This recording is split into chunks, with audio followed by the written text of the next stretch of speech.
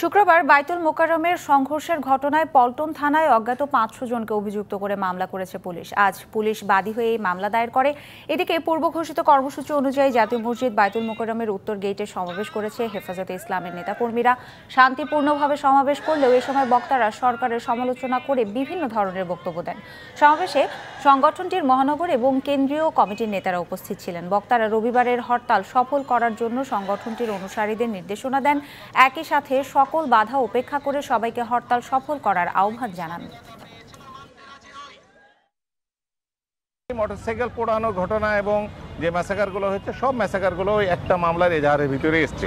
অর্থাৎ একটা মামলার এজাহারের মাধ্যমে সব পুরো ঘটনাটার যে ক্রাইম যে সাইটগুলো আছে সেগুলো আমরা কভার বিক্ষোভের নামে শুক্রবার রাজধানী সহ দেশের বিভিন্ন স্থানে যারা তাণ্ডব চালিয়েছে, তাদের বিরুদ্ধে যুব সমাজকে রুখে দাঁড়ানোর আহ্বান জানিয়েছেন জনপ্রতিনিধিরা। সকালে কৃষিবিদ ইনস্টিটিউশনে আয়োজিত এক অনুষ্ঠানে এই আহ্বান জানান তারা। জাতির পিতার জন্মশতবার্ষিকী উদযাপন ও স্বাধীনতার সুবর্ণ জয়ন্তী উপলক্ষে কৃষক সমাবেশ ও আলোচনা সভার আয়োজন করে বাংলাদেশ কৃষক লীগ। অনুষ্ঠানে কৃষকদের মধ্যে বিনামূল্যে সার বিতরণ করা হয়। অনুষ্ঠানে ঢাকা উত্তর সিটি কর্পোরেশনের মেয়র আতিকুল ইসলাম বলেন, পাকিস্তানের প্রেতাত্মারা এখনও সক্রিয় রয়েছে। অনুষ্ঠানে প্রধান অতিথির বক্তব্যে জনপ্রশাসন প্রতিমন্ত্রী ফরহাদ হোসেন, বঙ্গবন্ধুর নীতি ও আদর্শ মেনে চলতে দলীয় কর্মীদের প্রতি আহ্বান জানান।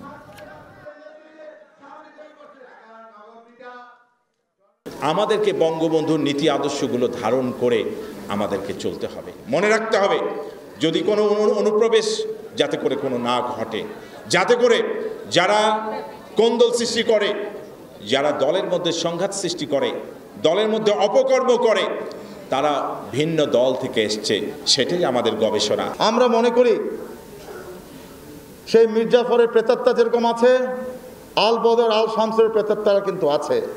নাহলে গতকাল যে তাণ্ডব দাঁড়িয়েছে এটির বিরুদ্ধে আমাদের সকলকে কিন্তু রুখে দাঁড়াতে হবে ইনশাল্লাহ যুব সমাজকে একসাথে তাদের বিরুদ্ধে দাঁড়াতে হবে এবং লাল সবুজের পতাকাকে সমুদ্র রাখতে হবে।